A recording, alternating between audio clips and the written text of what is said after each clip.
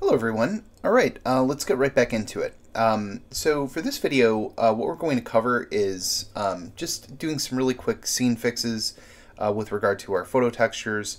Um, and we're also going to block in our, we're going to begin blocking in our color. Um, we're going to start setting up some of our details sort of off to the side. And uh, we're going to talk a little bit about mixer brushes um, and how to use those uh, to create detail in your scene.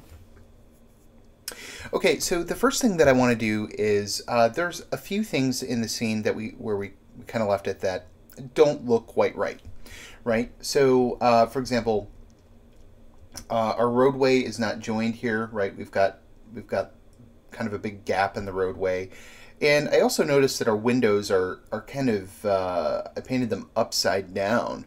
Uh, so actually uh, what should be happening with the windows is we should see a reflection going across the, the axis right here uh, along the sidewalk and the same thing uh, going in the other direction.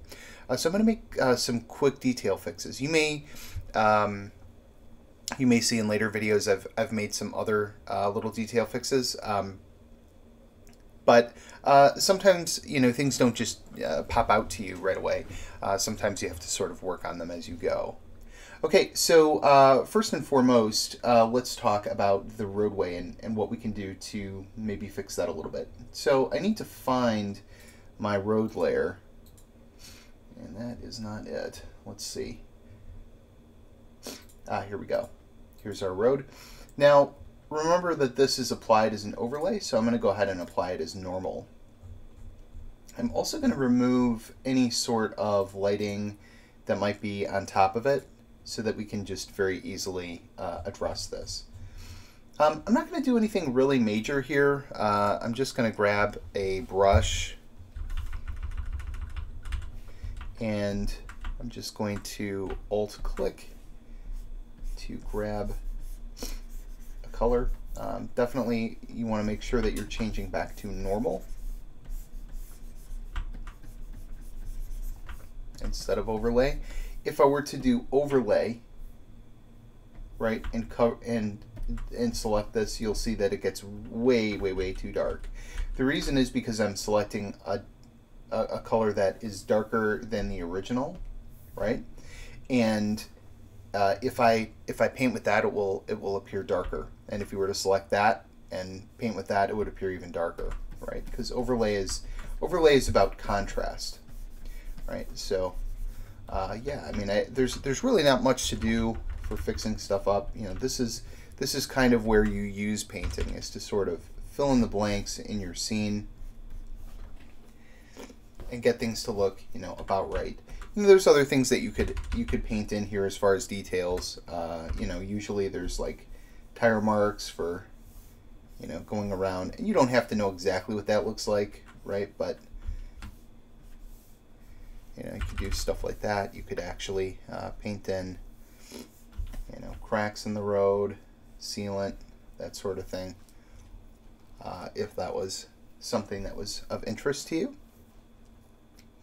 Uh, the next thing that we're going to do here really quickly uh, is we're going to fix these windows. Uh, so what you would do uh, to fix the windows is you would create a new layer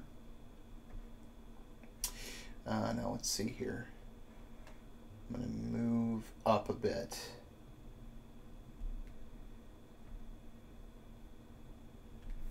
I'm going to move up a bit here. Go to my windows. And I'm just going to use the polygonal lasso tool. I don't have to do anything really super crazy or major here.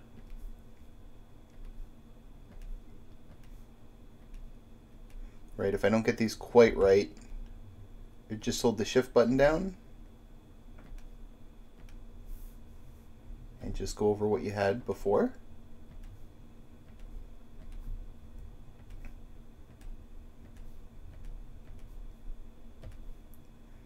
Right, pretty straightforward.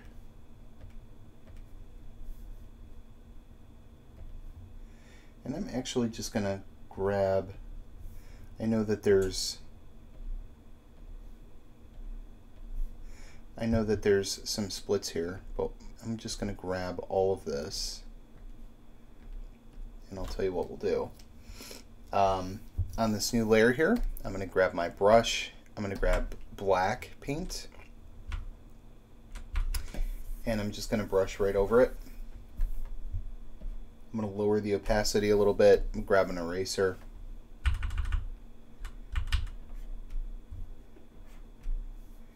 And then I'm just going to paint out the parts I don't want covered. Control click. And now I can address all of this. Right, so the way that I'm going to do that is just grab some of the sidewalk here and I'm just going to brush in. Right, we don't necessarily, we want that fall off, that light fall off to be pretty heavy uh, for these windows. Yeah, so we'll just go ahead and brush that in like that. And already our windows are looking quite a bit better, quite a bit better. Okay, um, so what you would want to do, obviously, is, is locate um, any problem areas that you have in your scene um, before you start adding in any heavy texturing. Um, go ahead and take care of those areas and uh, get them all fixed up uh, because you're going to need a really nice foundation before you start doing things like blocking and color, right? You're trying to work with basically one dimension at a time, in this case, value. Once you start adding color in, then you have color and value to work to deal with. Uh, so uh, you know, be a little be a little careful. So um, when you block in color, um, let's move on to that next. Um, probably what I would recommend doing is, yeah. So first of all,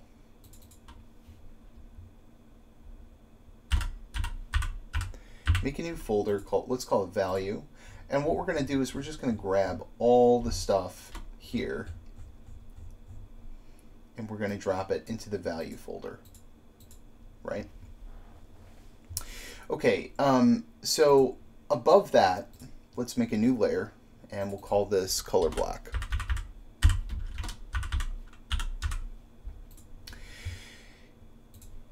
And uh, here's what we're going to do. Uh, we're just going to use the polygonal lasso tool. Um, and we are going to just do one of these. We're going to grab all of the space.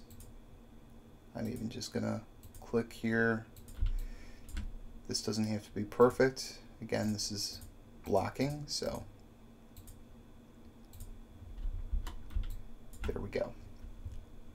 All right, I'm going to grab my uh, paint bucket tool and I'm going to fill it with a sort of bricky type color, right? Um, if you want to get an exact color, obviously you can just grab the color from the, the brick examples uh, that we pulled from uh, to make these, these sorts of brick sheets. But I'm going to pick something like this, sort of an orangey reddish color, and I'm to go ahead and drop that color in. Uh, over here, for this facade here, I'm going to grab all of this. I'm going to choose another brick color, um, and I'm going to make make this a little bit lighter, kind of a little bit more of a sandy color here. And we'll, uh, oop, control Z to reselect that, and then control D to deselect, right? So we have these, um, excuse me, these big sort of color blocks here. And again, you can do these on different layers if you want to. Uh, for time, I'm just going to leave them on one. But when we move our layer blending uh, to overlay, we can sort of see, you know, generally how all of this is going to start to come together. Uh, we're going to grab our polygonal lasso tool again. Uh, I'm just going to grab this. Uh, th this sort of darker paint, as I recall, was kind of a, a kind of a dark bluish green. Uh, so I'm going to go ahead and grab something that's around that color and we'll drop that in. Now, uh, again, you know, don't worry too much if all of this stuff looks like uh, garbage for right now. Uh, it's not really, uh, it's not really super important. Again, we're just trying to get a general sense of what's going to go where. uh, you know, I'm also going to, I'm also going to go into my value area here. I'm going to grab my windows that I just did, and I'm going to get get my color off of those windows. And the reason that I'm doing that is because uh, my street area here is going to have a different color applied to it. Uh, we're also going to want to do something with this background and with the side of the building here. So let's address the background first. Um, I'll do a new layer here. And for this, we're going to actually just go into the city BG layer. And then on my new layer above, and uh, you know, this could be in the background too. Uh, we're just gonna we're just gonna fill this in. Now, uh, you know, a lot of people will probably start with you know, blues or whatever. And you can, you know, if, if you've got a, a day scene. We'll set it to overlay. And, uh, you know, that might look fine. You might also pick out some some of these creamier colors here. Uh, you know, why aren't these colors as bold? Don't forget, you know, you have things like atmospheric perspective to uh, to worry about. And we don't really care about these buildings so much in the background. We really just care about, you know, our, our buildings in the foreground. Uh, again, uh, let's uh, let's then take care of our road. Let's call this one road. And we'll actually just grab the sidewalk in with it too. Again, we're just we're just blocking things in here.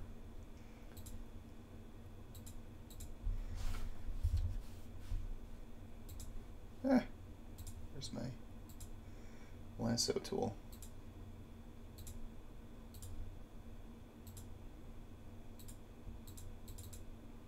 There we go. All right, so uh, we'll just pick like a darker gray color. And then we'll do that as, uh, I mean, it could be multiply and maybe just pull the opacity back a little bit. Might take some of this blue color lighten up the road a little bit. Don't forget that roads are, uh, you know, they're not black. They tend to be, you know, gray, even a creamier color depending on, you know, time of day. All right, and uh, that'll work for getting things blocked in. All right, so we have we have foundational colors that we can that we can work off of. I'm not going to worry about the side of the building here for uh, for the time being. Um, oh, I suppose I could. Let's just do that real quick. And for this side of the building, and again, I just went back into my color block. I'm just going to grab that. Okay, that's done. All right, uh, so we have our colors blocked in.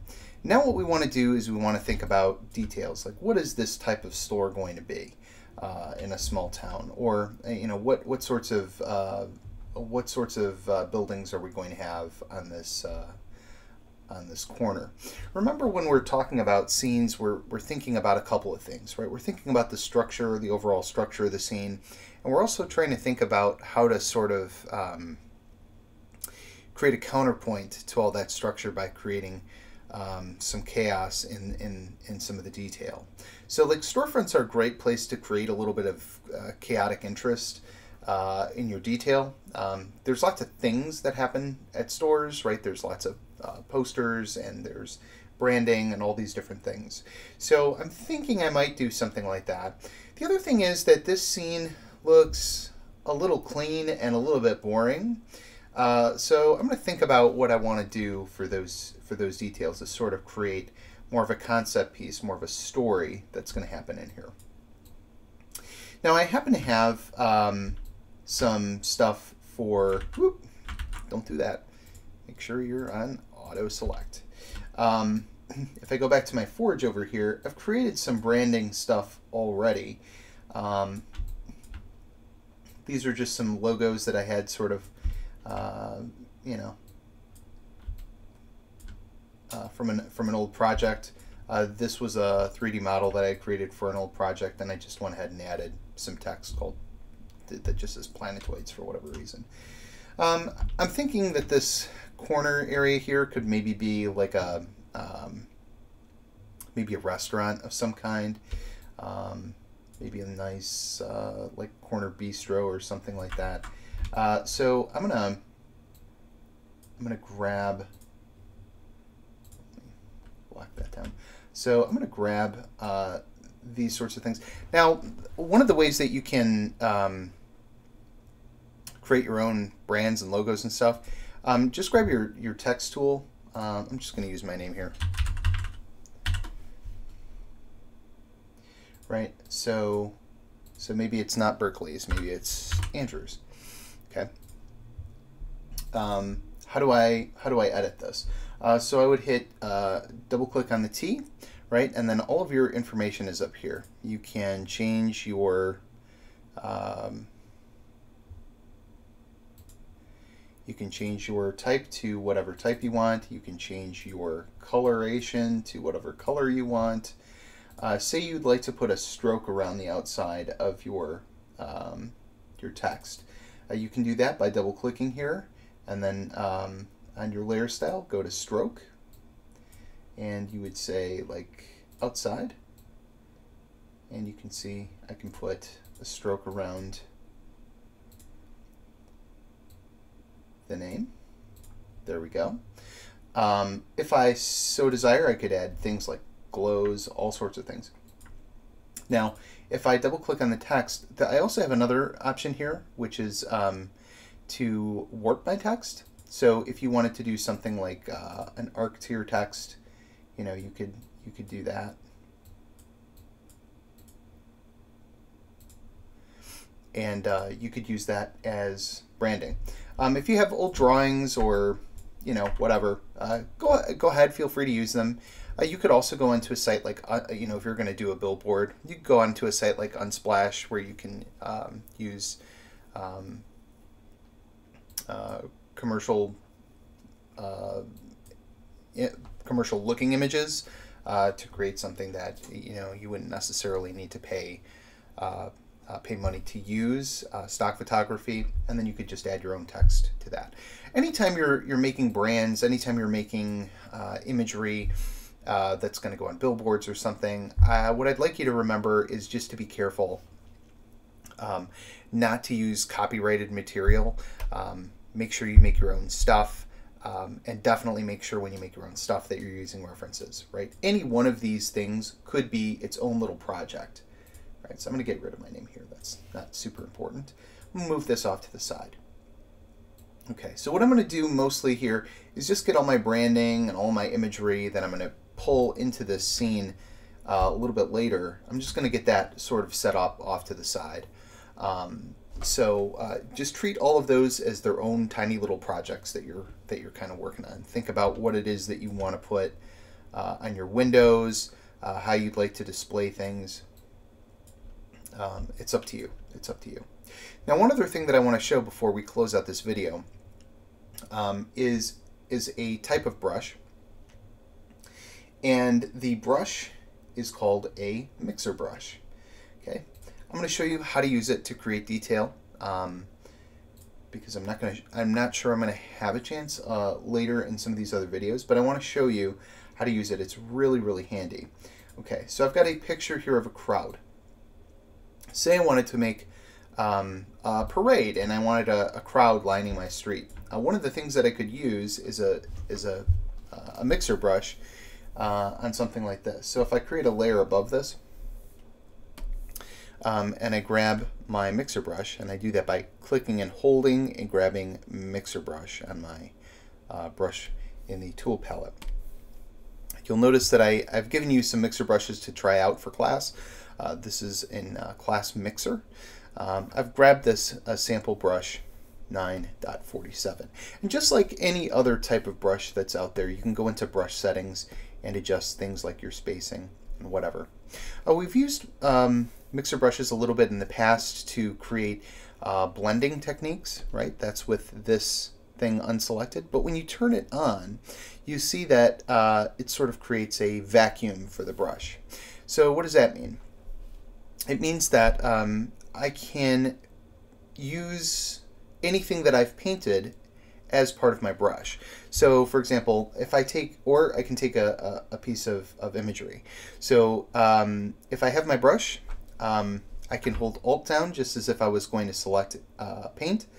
Um, and depending on the size of my brush, here. I'll show you. Uh, I'm going to select a part of this image. Now I'm going to say sample all layers. Ah, right? So here's, you can see the image that I'm selecting here. And if I go onto a new layer, right, I can paint with that image, which is pretty super. Uh, and if I wanted to do something in the background, like get some of these background uh, guys here, uh, I could grab that, and then I could paint with that in the background. So you could make presumably pretty large groups of people and then just paint in your own little figures here and there to sort of break up the, the repetition in the image. Uh, this can be a really, really super uh, thing. Um, by the way, I mean, the size of this depends on the size of your brush. So if you were to um, make your brush a lot smaller, right, it's only going to select this small part, right? And if I select it in the foreground, you know, I'm only selecting, I'm only selecting what the brush sees. So this is also a bit of a camera as well, right? This can be really handy if you're trying to grab textures. It can be really handy if you're trying to grab things like trees. Now, if you were going to paint, uh, you know, foliage and you had a nice uh, tree like this from uh, textures.com, uh, you could certainly paint with it. Uh, one thing that you'd want to be careful to do is when you're using your mixer brush on the tree, you'd want to make sure to say that you're not trying to sample all layers. Otherwise, you're going to sample the background. Uh, but you could uh, sample that tree and you can see that it shows up with the clear background there. If I do a new layer, uh, I can paint with that with that tree. Right now, maybe this isn't the right brush, but you can see how quickly uh, you can you can build you can build texture uh, using that using that image you know, even if you were going to paint stuff over this, you could at least have sort of a leaf background or, you know, series of saplings or something like that. So you can paint with with entire uh, entire images if you want uh, using the mixer brush. It's a really cool tool. Um, so with all of that uh, in mind, I'm going to uh, stop the video here. And then when we come back, um, we're going to talk about um, creating additional colors to our scene. Uh, we're going to apply our signs and we're going to start doing some of our, our detail painting. Uh, so we'll stop there for now. Uh, thanks for listening.